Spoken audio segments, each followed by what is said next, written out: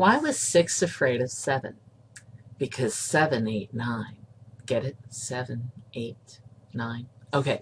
Anyways, um, that was the best I could do. I already used my similarity joke, so I had to give you a random math one. So today we're still talking about similarity, and we're going to look at some shapes besides triangles, but they're all related to triangles, and some of them might not even be similar triangles. But first of all, let's start with similar triangles. So for overlap triangles, we redrew the triangles and used whole sides to get proportions. That was what we did before. And I could do this, and what I'm going to do right now is I'm going to actually set up proportions for the parts that are labeled. So I did 2.3 uh, to 4.28, 3.09 to 5.74, and for both of those I got 0.54. So the two ratios that are equivalent are actually uh, these two, AD and DB, and AE and EC. DE over BC is not the same. So why is it, if remember, before we used wholes, but I didn't use wholes this time. DB is not part of a whole triangle. Remember we would redraw ADE and ABC, which by the way I strongly recommend for most of your problems. Why was I able to get equivalent ratios with parts of a triangle when we had trouble with that before? Okay, so uh, this comes from the triangle proportionality theorem. If a line parallel to the side of a triangle intersects the other two sides proportionally, then it divide, uh, it intersects the other two sides, then it divides those sides proportionally. So let's take a look and see what's going on.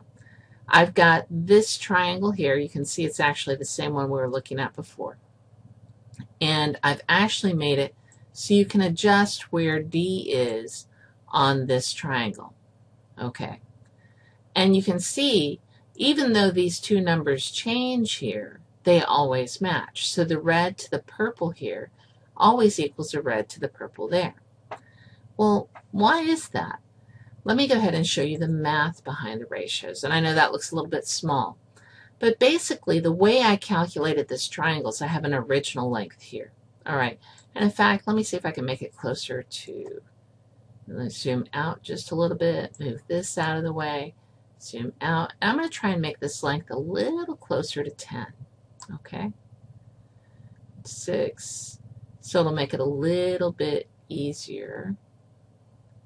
That's really close to 10.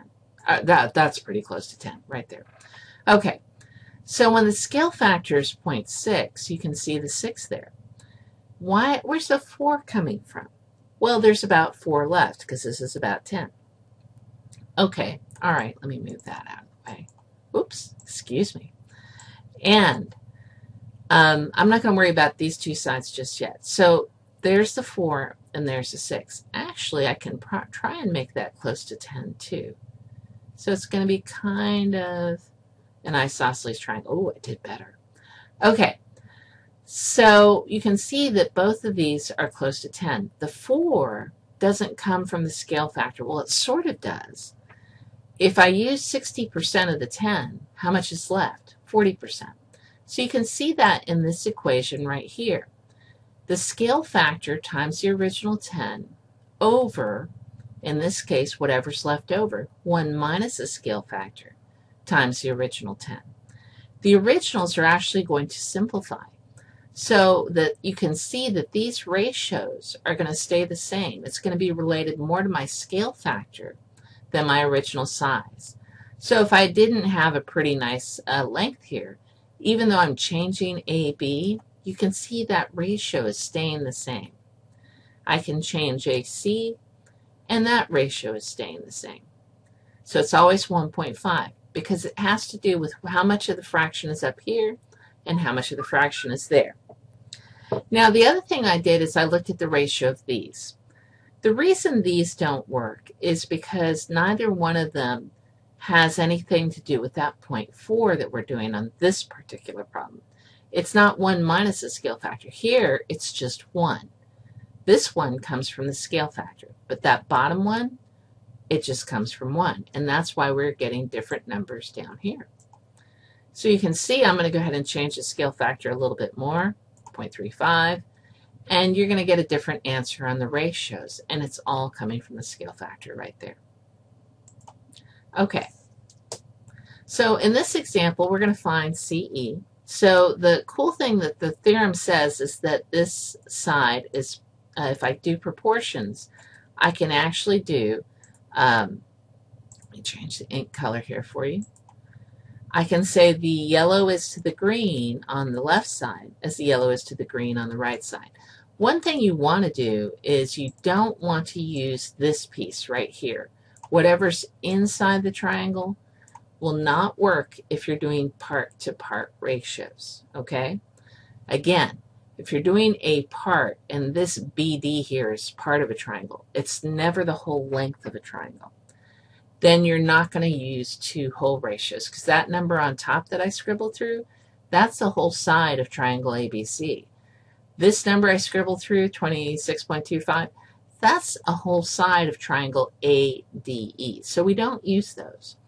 So I just set up a proportion of 13.5 to 20.25 equals 11 over x. All right, and now that we've got that, we can cross multiply.